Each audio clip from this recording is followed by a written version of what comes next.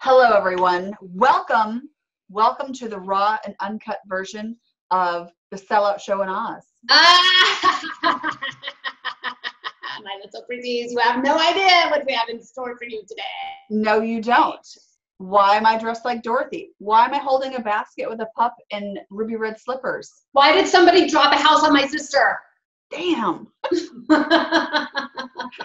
Welcome to the Sellout Show version of Oz. You are going to want to watch because today we're discussing the sales process, Yellow Brick Road, and those three skills you need to practice to have better results. and the things you need to avoid. Subscribe. stay with us. Watch Subscribe. Here we go. Welcome. Should we, should we tell everyone why we're dressed like this today, Dianna? Well, I can't. today we will be discussing the yellow brick road of sales.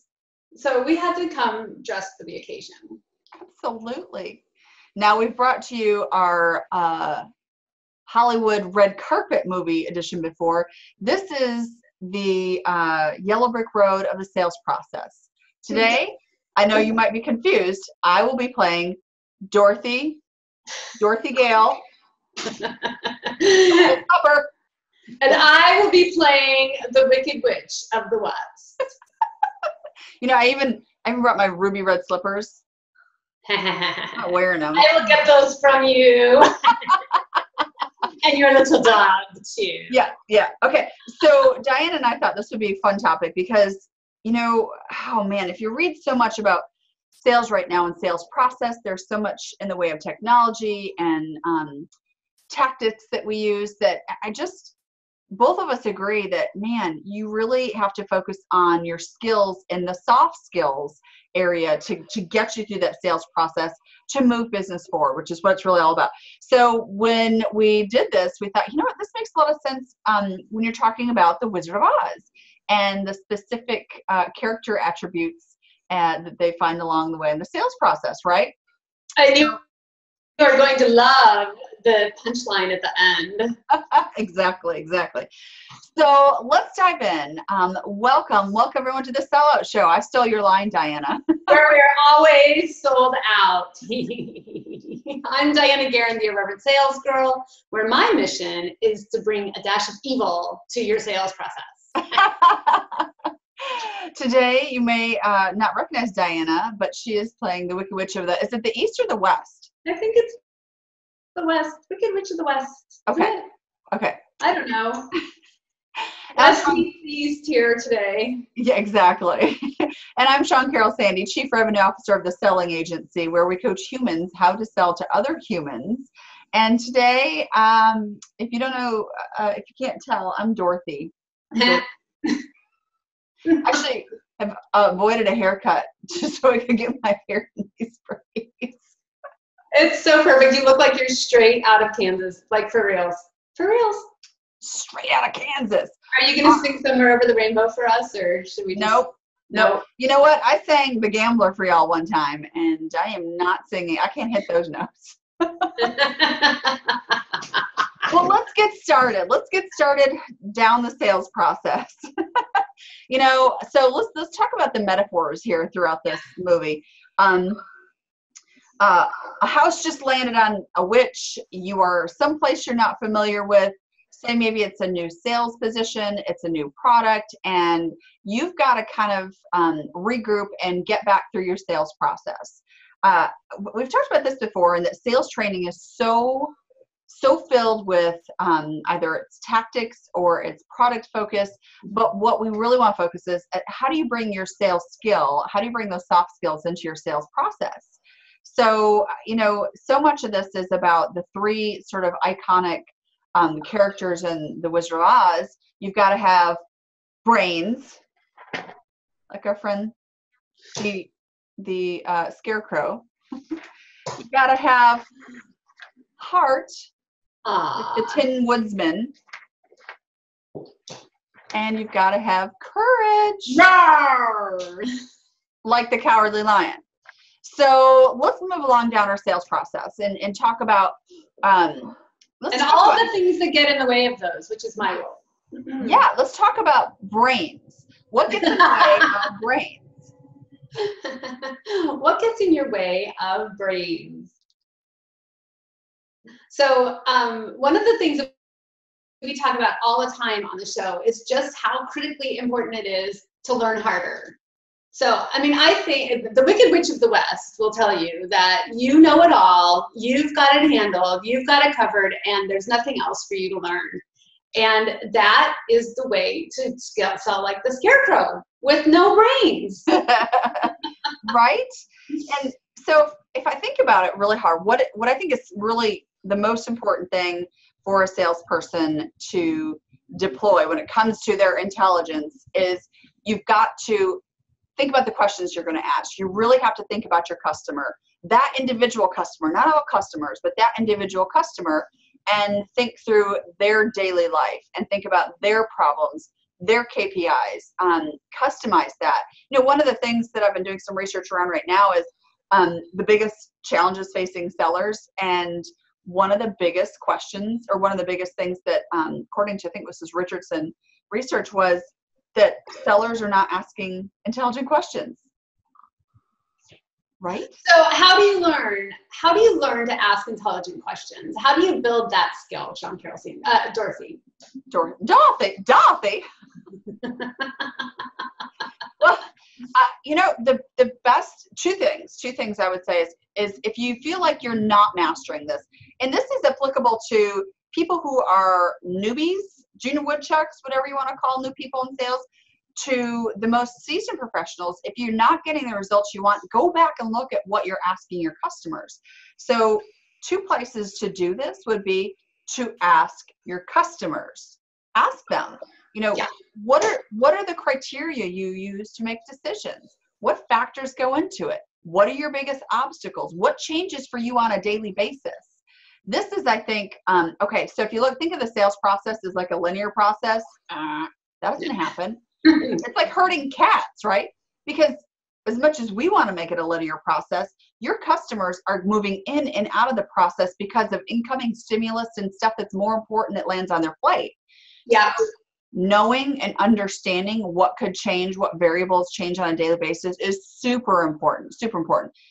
So asking your customers. And the second thing I would do would be to um, go on a call with a mentor, like someone else in your company. Either take take a season, you know, sales rep out, or go with your boss. Even if it's, um, I love going on ride-alongs. I love going on ride-alongs with my sellers. I'm not their industry expert necessarily. I'm not their product expert, but someone else in the situation can be aware of what you're missing and have an opportunity to Yeah. interject or ask different questions or give you that feedback like we talked about a couple weeks ago uh, that important feedback super super important Yeah, and you will know that I, the Wicked Witch, am at work when you are throwing up features and product and benefits, even, and you're throwing up. If you're not asking questions, uh, you're being influenced by the Wicked Witch of the West, and I love that. okay, good. So brains. What's so next? brains brains Brains. yes okay so walk along the sales process down the yellow brick road i wish we had wish we i wish i had something i should have a yellow brick road in my office I Wish I had a flying monkey. well i have a flying monkey flying monkey is head trash that's what that's when the wicked witch unleashes the head trash oh my god. I love the head trash. I send it your way every day. I love it so much. Yes, absolutely. Well, so the next thing, part of the sales process that I think is super important is let's talk about heart. What that means, I think, in the sales process is that you've got to actually care. Like you have to actually care. You cannot fake the funk. You cannot, people will understand, people will sniff it out immediately if you are only in something uh, for yourself. Absolutely. Now, Yeah. what gets in the way of people showing up with their heart? Fear. I send fear your way. You will not meet your quota, my pretties. they will not answer the phone. It will go dark on you. You're really scary. That's why I didn't paint my face green. It would have been too startling for anyone to watch. It would have frightened small children. no kidding. And we have a lot of small children that watch our show. but yeah, um, so how do you overcome? Well, you don't overcome me, do you? no. Well, I I think if you don't have a heart for what you're doing and you don't have a heart for the people that you're serving, it's going to be really difficult to have a long and successful sales career, especially with the company you're in. So, you know, your options are um, go find a new career or find a new company, possibly, or really. This is magical. I've, I've been in some situations where we've been able to flip the light bulb on people where they think of selling as completely self centered, self serving, um, I've got to make my quota. I've got to, you know, this is the way I make my living. To flipping it to thinking about serving people, having a heart and caring about what happens to other people in, in your business. What you do and what you sell to people has an impact on their job, their outcome, their success, the people that work for them, their customers. So selling really can be from a place of service to people. And their little dogs too and their little dogs too. it does. I mean, if you think about, I was talking about this with um, somebody who I admire very, very much, who has an extraordinary entrepreneurial program that stands out way beyond anything I've seen. But anyway, we'll talk about that later. But one of the things that we talk, he talks about with sales is knowing what your company wants to be for the world mm. three years from now, five years from now, when you're focusing on the difference that you're going to make in the world three years from now, five years from now, you, your perspective shifts and you can start to create. Now, this is not the Wicked Witch of the West talking, this is the real. You start to create this new horizon mm-hmm. that is inspiring for your customers to step into, and they realize that you've got their back and yeah. that you have their interests in mind, and that you've got an idea besides how do I get you into this contract this month? yeah, that's where that that wicked witch creeps in when it's oh god, you know, I'm a fear of failure and um, you know, like you said, not making quota. And if the reason that you're picking up the phone and you're calling someone is because you've got to make quota because you need a deal because your boss is on your butt or whatever um, that's so it comes through on the other end. Yeah, that's going to be inspiring. You've talked to somebody like that before. Nobody likes to be used. Nobody likes to be manipulated. No, not at all. No, not even so, me. Yeah, it's you got to have heart, and if you don't, if you don't have a heart for what you're doing or for what you're selling, reevaluate your priorities. Yeah, that's right. You didn't really go rich. oh, that's my calling. All right.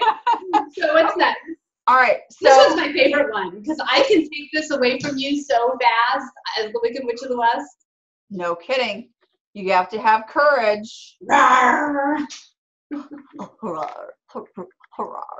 yeah, courage. This is a real thing. This is a real thing in the sales process as a salesperson. I think it takes so much courage to knock on someone's door or to call them or to show up and to presume that you can be helpful. That does take courage. Doesn't mean that you don't you aren't helpful. Doesn't mean that you're not going to be the solution. Um, it takes courage to face rejection. Uh, it takes courage to be vulnerable. I don't have all the answers. I don't know all the questions.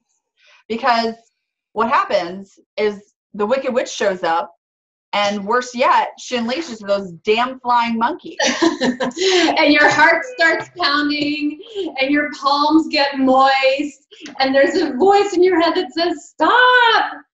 Don't do that bold thing that you were planning on doing, my little pretty. because you will die or face dismemberment. I'm positive if you pick up the phone and call that CEO, you may actually die. right? Right? Yes. Um, so, how do you build courage? How do you be persistent? How do you overcome the flying monkeys, you know, that have been unleashed in your head? That's the question. Um, it's different for everyone I, I think it really is. I think both number one and two actually really help with this courage thing.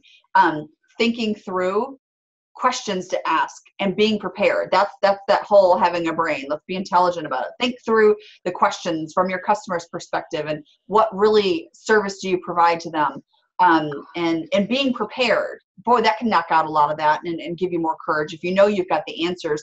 And then actually caring um, caring not just about getting the results for you but caring about your customers and the buyers and caring that you have good solutions for them. That can give you more courage and bolster your ability to pick up the phone and, and be persistent um, and listen to listen to defying gravity. If you're really jammed up just listen to defying gravity from wicked and it will get you going. But no there's sometimes sometimes you just got to go for it. You know like sometimes and be or have a new idea. Have a new idea. Like hey i've been thinking about your business and what we've been talking about and i wanted to run this new idea past you. That is irresistible You've been thinking about me and you have a new idea for my business? Yeah, try new things. I think that um, we we fear rejection, we fear failure, but if you don't ever try something new, you fall into the same trap of everyone else who's doing the same thing, calling on the same customers. It really is. I think right now in sales, I would say it's probably um, your one of your biggest challenges is to not be the same not not be not be lumped and clumped into the same category as every other crappy salesperson that's come before you. Right. That's, that's how I mean, I think that way. That's how a lot of your customers and buyers think. Oh, it's a salesperson. Are they going to be like every crappy person that's before them that's wasting my time that says, Tell me about your business. you should know about my business. My business is all out there. So the other my business is all out there dorky oh, today. This just took a turn. okay, you can get all up in Shawn's business. Okay. yes, but take take bold actions. And here's another way to do it: is look. If you look around you, there are people making bolder moves than you are, and if you can just scare yourself a little bit that you're going to get left behind if you don't make some bold moves, sometimes fear is a good motivator. right? It is. The other thing I, I want to, I think bring up too is that persistence takes practice. Yeah. You have to practice being persistent. Um, there's some great research out there that says, especially like for um, procrastinators, I think this is particularly important. But if you say to a procrastinator or someone who lacks that grit or persistence, say, well, just do this one thing for three minutes. Yeah. People are exponentially more likely to actually complete it and finish it if they can just get through three minutes. So practice being persistent. Does that mean like i know you are really fantastic at this not the witch part but dianna. I'm saying well i've got to make i've got to make a hundred quality connections whatever yeah. this week. So if i haven't made them yet i'm going to be persistent and keep going. Not just well it's the end of the week didn't do it didn't hit the goal. Hmm. if you can pick start little start small. If you know you're someone who lacks persistence if you don't you don't have that grit factor yet start little. Think of some things that you can say if i could just do this for three minutes. I know when i am working out in boot camp which some days it's fun some days it's just absolute drudgery i, I know that i can say i can do anything for 45 seconds. That's what my yoga teacher says you can do anything for 60 seconds. And i'm like bitch. Wall squats ah. push-ups planks headstand you can do anything for 45 seconds. Yeah. To, to a minute, right? So that's, I think we can, we practice persistence and get courage. Yes. Yes. Yes. All right. So now we get to the punchline of the whole thing. Mm-hmm. Is, the reality is, uh, do you want to say it or do you want me to? No, you go ahead. Go ahead. And then I will melt. Don't don't miss the melt. the reality is is you've already got these things. There's no place like home. You had it all along. The only thing that you've done is you've allowed your wicked of the west to get in your way and all you really need is a bucket of water. I'm melting! I'm melting! I'm melting Yes, you are. And, you know, at the end also, have